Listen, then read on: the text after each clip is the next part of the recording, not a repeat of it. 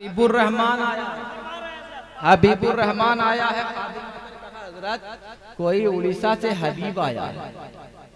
करे हबीब नहीं मुजाहिद है वो। बोला कर लाओ।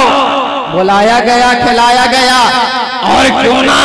आला हज़रत का सदका है ना? मुजाहिद मिलत में। दुनिया के अंदर हम देखते हैं हर एक मौलाना सादात को पढ़कर समझता